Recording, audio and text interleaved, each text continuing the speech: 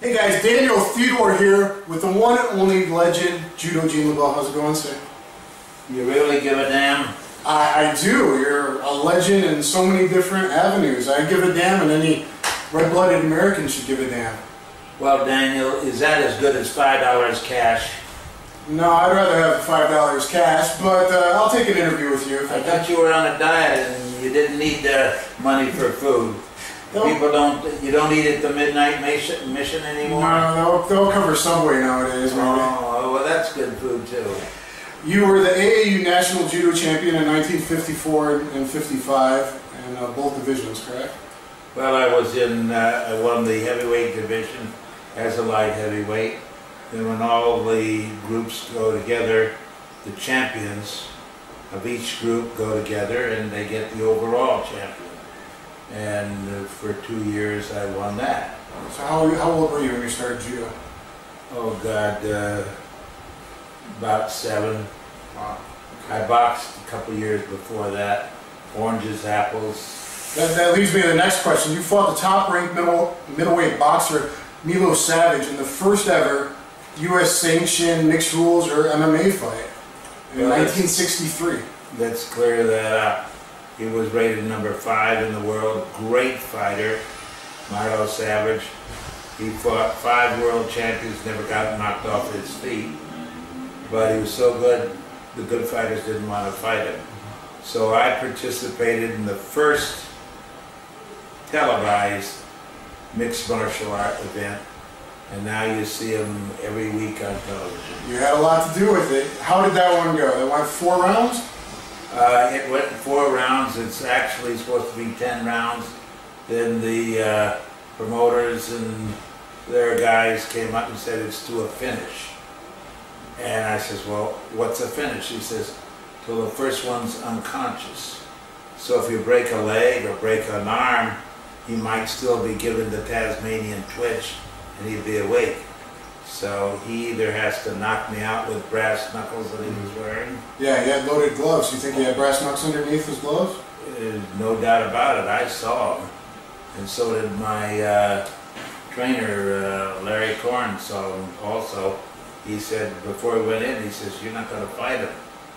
But uh, you know, when you're young and full of piss and whatever, you don't give a damn. You think you can beat the world, but try to use your brain.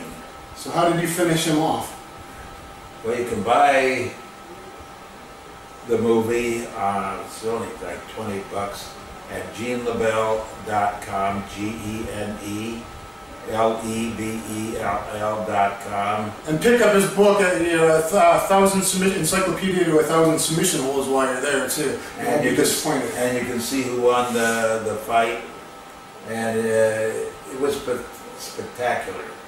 It's 1963. This is this is 30 years exactly before the first UFC in America. That's being a trailblazer.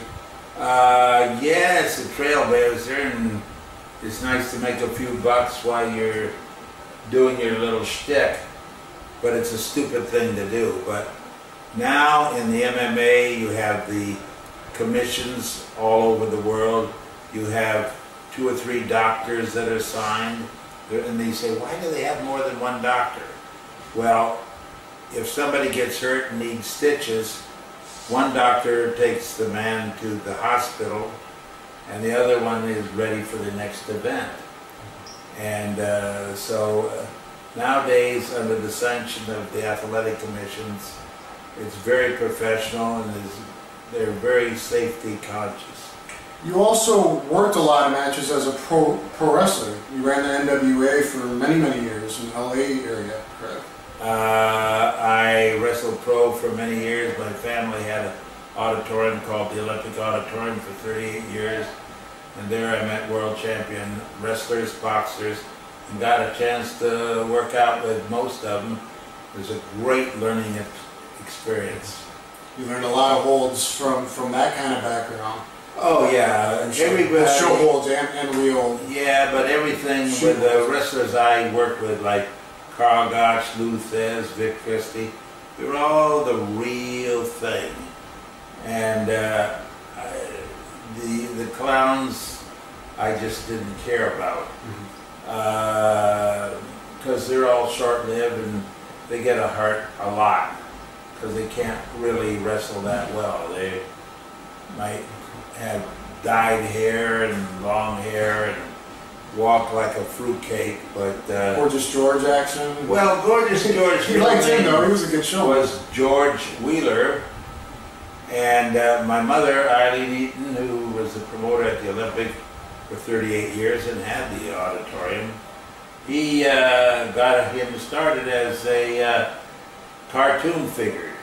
Uh, she was down at the Olympic, and he was there too, and I was also there. And she says, I have to leave and go have my hair done. She says, George, you want your hair done? Because he had long hair. He said, yes. So he went down there. They dyed his hair uh, pink or whatever it was, white or golden. He had these bobby pins, and they're called gold bobby pins. And uh, I looked at them.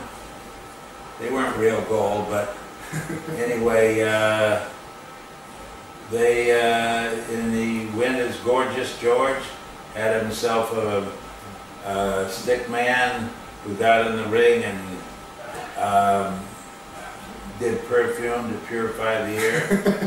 and he was uh, quite a novelty. For the character.